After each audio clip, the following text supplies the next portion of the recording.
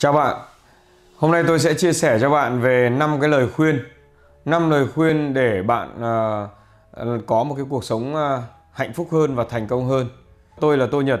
Tôi uh, đã có một cái cuộc sống mà um, tôi cảm thấy cực kỳ viên mãn, hạnh phúc và tôi đã đạt được những các cái ước mơ của tôi từ những các cái giai đoạn mà tôi còn nhỏ là tôi có những cái ước mơ và tôi bây giờ đều đã uh, hoàn thành được những cái ước mơ của mình Hiện nay tôi là Phó Chủ tịch và Tổng Giám đốc của Tập đoàn Nam Cao, đồng thời là Chủ tịch của SBK Holding. À, với năm cái lời khuyên này, tôi hy vọng sẽ giúp cho bạn có một cái năm 2022, à, năm nhâm dần tuyệt vời. Đó là à, năm uh, cái lời khuyên, tôi gọi là năm lời khuyên mang tính chất nguyên lý. Nó sẽ hàng đúng để bảo đảm rằng bạn có thể ứng dụng trong mọi lĩnh vực. À, và đặc biệt là để bạn có một cuộc sống thực sự hạnh phúc và thành công viên mãn. Cái lời khuyên thứ nhất là đó là phụng sự. Đó. Phụng sự khi chúng ta sinh ra trong cuộc đời này thì à, để cuộc sống của chúng ta trở nên là có ý nghĩa, để cuộc sống của chúng ta hạnh phúc thì chúng ta phải xác định là chúng ta phụng sự. Phụng sự con cái chúng ta, phụng sự cha mẹ chúng ta, phụng sự anh chị em ruột chúng ta, phụng sự um, khách hàng của chúng ta phụng sự là những người xung quanh của chúng ta. Khi mà chúng ta phụng sự được càng nhiều à, thì có nghĩa rằng bạn càng trở nên ý nghĩa bạn càng trở nên là à, thực sự là hạnh phúc. Bạn càng cho đi thật nhiều bạn mang giá trị lại cho xã hội càng nhiều à, thì bạn càng trở nên là gì bạn càng trở nên ảnh hưởng. À, chính vì vậy cho nên là trong kinh doanh khi mà bạn phụng sự được càng nhiều khách hàng tôi lấy ví dụ bạn phụng sự được một triệu khách hàng mà mỗi một khách hàng người ta chỉ cần trả lại cho bạn một đô thôi đúng không? Cho cái công phụng sự của bạn thì bạn trở thành triệu đô la rồi. À, vì vậy cho nên bạn hãy phụng sự nhiều hãy phụng sự trước rồi bạn sẽ nhận lại được sau À, và cũng như vậy trong gia đình bạn khi bạn phụng sự mẹ cha khi bạn phụng sự bên chỗ anh chị em ruột bạn phụng sự à, con cái bạn à, bạn phụng sự chồng bạn hoặc là phụng sự con bạn thì thực sự bạn trở nên ý nghĩa đối với gia đình. Và bạn càng phụng sự nhiều thì bạn càng trở nên ý nghĩa nhiều. Thì đây tôi gọi nó như là một cái sứ mệnh mà bạn sinh ra để làm gì. Bạn à, sinh ra không phải để cho là gì cho bản thân bạn mà bạn sinh ra cho người khác. Bạn sinh ra để bạn có ý nghĩa với người khác nên bạn làm sao để bạn tìm được cái sứ mệnh cho mình? À, tức là tìm được cái ý nghĩa cho cuộc đời. Bạn à, tìm được cái ý nghĩa cho cuộc đời ấy, thì bạn sẽ lúc nào bạn cũng sẽ cảm thấy hạnh phúc vì bạn biết sống vì cái lý tưởng sống gì. À, cái lý tưởng sống cao cả nó sẽ giúp cho bạn có một cái uh, cuộc sống mà bạn cảm thấy lúc nào bạn cũng hừng hực uh, cái lòng nhiệt huyết. Bạn lúc nào bạn cũng cảm thấy là cuộc sống này thực sự là tuyệt vời bởi vì bạn có cái lý tưởng sống và bạn sống là để uh, vì những người khác xung quanh mình. Cho nên ờ, cái từ đầu tiên mà tôi muốn bạn nhớ đó là phụng sự. Từ thứ hai mà tôi muốn nhắc các bạn để bạn có một cuộc sống hạnh phúc để bạn có một cuộc sống thành công thành công đó là mục đích.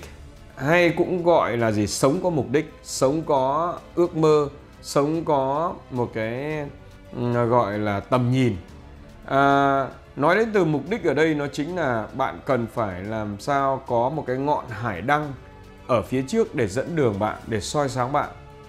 À, bạn thực sự mong muốn bạn sẽ trở thành ai? À, mục đích của bạn trong 5 năm tới là như thế nào? 10 năm tới là như thế nào? À, 20 năm tới là bạn như thế nào? Rồi bạn phải tưởng tượng được đến tận khi mà bạn là gì? Là à, về với thế giới bên kia bạn thực sự muốn bạn có một cái chân dung như thế nào?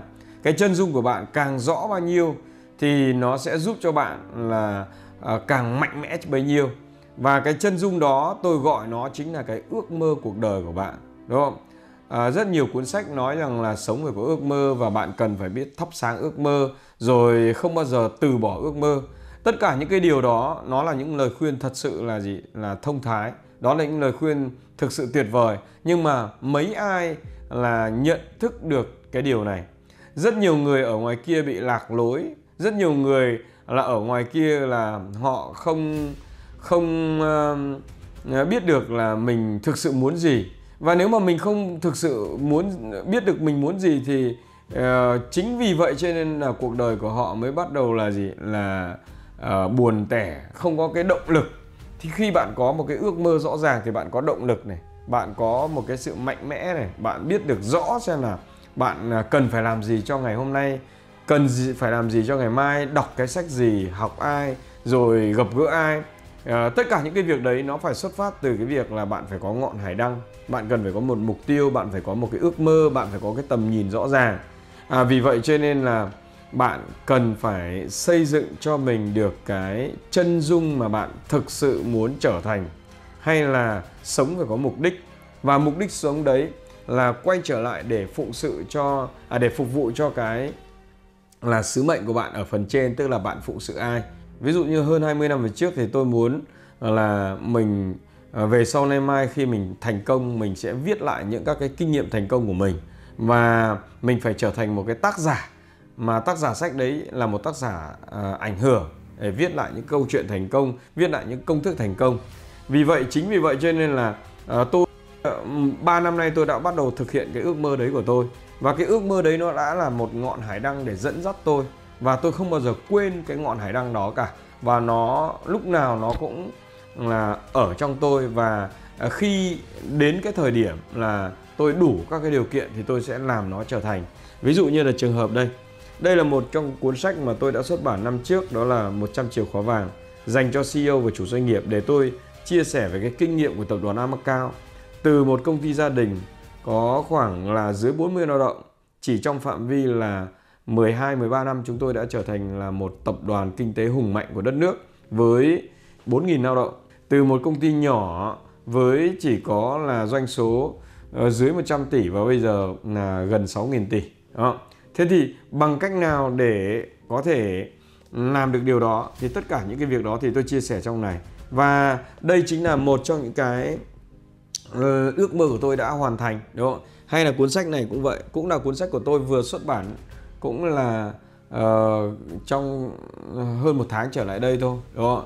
Tháng 11 vừa rồi là tôi xuất bản cái cuốn sách này. Là cuốn sách để chia sẻ về những các cái kinh nghiệm uh, thói quen lãnh đạo những các cái uh, triết lý trong lãnh đạo hay là những cái uh, nguyên lý mà để chúng ta có thể có được cái sự thành công và hạnh phúc. Đó. Thì thưa các bạn phải có ngọn hải đăng để dẫn dắt chúng ta để chúng ta lúc nào chúng ta cũng là biết được là chúng ta đi đâu về đâu. Và chúng ta như một con thuyền à, đang ở biển khơi. Nếu mà chúng ta mà trong một cái đêm tối mịt mùng mà không có ngọn hải đăng dẫn dắt thì chúng ta có thể đâm vào đá. Chúng ta có thể là đi lạc về phía mà chúng ta không không mong muốn và chúng ta không biết đi đâu về đâu cả. Đó. Đấy là cái thứ hai mà tôi muốn được nhắc nhở các bạn. Đó là bạn phải có mục đích sống, bạn phải có chân dung mà bạn thực sự muốn mình trở thành ai. Và điều thứ ba mà tôi muốn các bạn nhớ đó là gì? Là cái lời khuyên mà tôi muốn dành cho bạn đó là phải biết lập kế hoạch nếu tôi ví là ngọn hải đăng của bạn nó giống như là cái uh, đích đến mà bạn cần phải đến ở bên phía bên bờ sông bên kia. Và hiện tại là bạn đang đứng ở bờ sông bên này. Để bạn có thể đến được đích đến của mình để bạn có thể hoàn thành được cái mục đích của mình mục tiêu của mình ước mơ của mình thì bạn phải có một cái kế hoạch nó giống như một cái cầu nối để nối bạn giữa bờ sông bên này với bờ sông bên kia khi bạn không có kế hoạch hành động cụ thể, đó, thì bạn sẽ không bao giờ đến được bên kia cả. Cho nên bạn sẽ phải là có cái kế hoạch kế hoạch để xem là bạn phải làm những cái công việc gì và bao giờ phải hoàn thành nó. Và từ đấy rồi, bao giờ bạn có thể sang đến bên bờ sông bên kia được.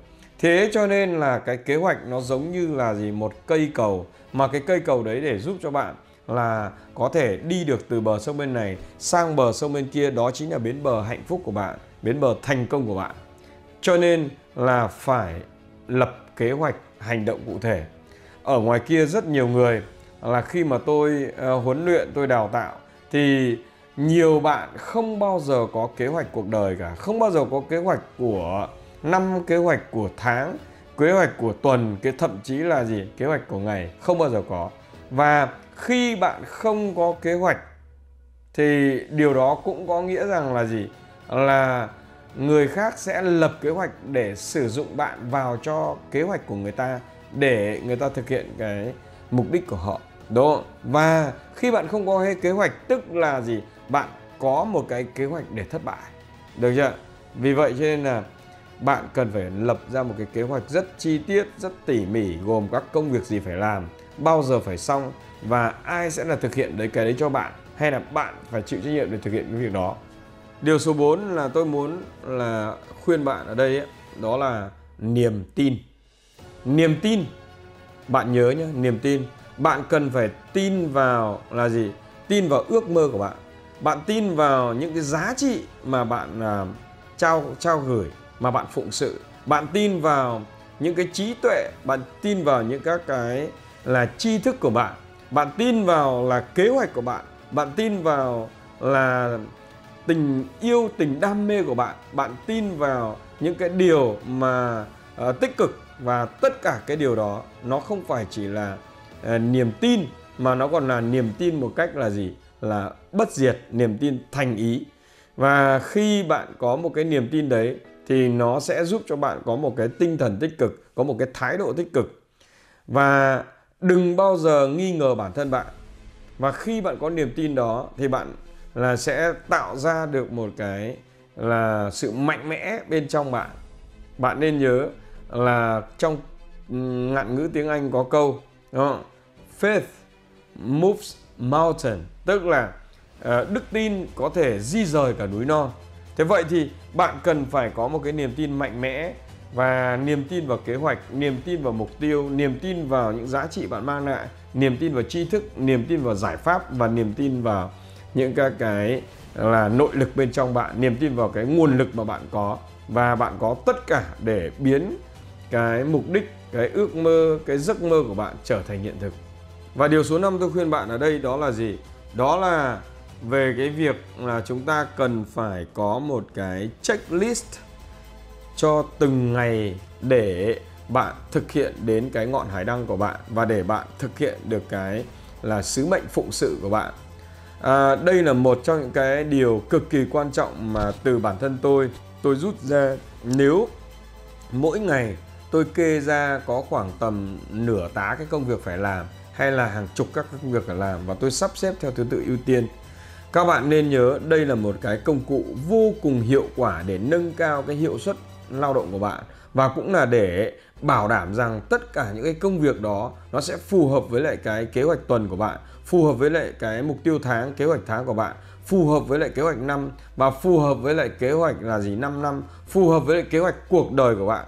Thì tôi nói các bạn là cái checklist này nó chính là cái, là phương tiện, là cái công cụ quản trị thời gian tuyệt vời để giúp cho bạn là làm các cái ước mơ của bạn, làm các cái mục tiêu của bạn và biến cái chân dung của bạn trở thành hiện thực, đúng không? hãy sử dụng checklist mỗi ngày. Hãy sử dụng checklist để thời gian của bạn là được hiệu suất cao nhất. Và đây chính là một trong những cái công cụ mà tôi sử dụng từ lúc tôi ở học phổ thông đến bây giờ. Và nó đã giúp tôi làm được rất nhiều việc. Rất nhiều người là hỏi tôi rất nhiều người băn khoăn là anh Nhật cũng là chỉ có 24 tiếng trong ngày mà tại sao anh Nhật lại làm được nhiều việc như vậy đúng không? Vừa viết sách này, vừa là nhà huấn luyện, nhà đào tạo này, lại vừa điều hành một tập đoàn này, đúng không? Và làm rất nhiều việc khác, lại vừa là nhà giáo này. Thế thì bằng cách nào để tôi có được nhiều các cái thời gian như vậy? Tất cả đó là gì? Quản trị thời gian. Và công cụ quản trị của tôi đó là gì? Checklist. Đơn giản vậy thôi các bạn ạ. Ok, trên đây là tôi chia sẻ với các bạn về năm cái um, nguyên lý, năm cái lời khuyên để giúp cho bạn có một cái uh, cuộc sống hạnh phúc và thành công. Năm lời khuyên này tôi trích ra từ trong cuốn sách 28 thói quen của nhà lãnh đạo. À, năm trong số 28 cái uh, nguyên lý, năm trong số 28 cái thói quen, năm trong số 28 cái chìa khóa để giúp cho bạn có được cái thành công và hạnh phúc và một trong những cái bí quyết của những người thành công là luôn luôn làm thế nào để chúng ta có thể thành công được là phải làm sao đọc sách là à, tìm hiểu từ trong những các cái cuốn sách mà của những người thành công đã à, viết lại Và thưa các bạn, đây là cuốn sách mà tôi viết lại về những các cái nguyên lý mà tôi đã đúc kết được trong cuộc đời của mình. Tôi đúc kết được thông qua những các cái việc là tôi quan sát, tôi trải nghiệm, tôi học và tôi đọc từ rất nhiều những các cái cuốn sách ở trên thế giới. Và vì vậy cho nên là đây là một cái cuốn sách mà nếu bạn thực sự khát khao để trở thành một người ảnh hưởng, để trở thành một người thành công, để trở thành một người hạnh phúc viên mãn và bạn muốn có thêm được là đầy đủ trọn vẹn 28 cái 28 cái À, nguyên lý thành công, 28 cái lời khuyên tuyệt vời. À, bên cạnh năm cái lời khuyên vừa rồi tôi chia sẻ thì các bạn hãy ờ, là đăng ký để uh, sở hữu cái cuốn sách này để bạn có thể trở thành một nhà thông thái, để bạn có thể trở thành một nhà lãnh đạo thành công và để bạn có thể trở thành một người sống có ý nghĩa, sống có lý tưởng và sống là thực sự cảm thấy là viên mãn và chúc bạn thành công viên mãn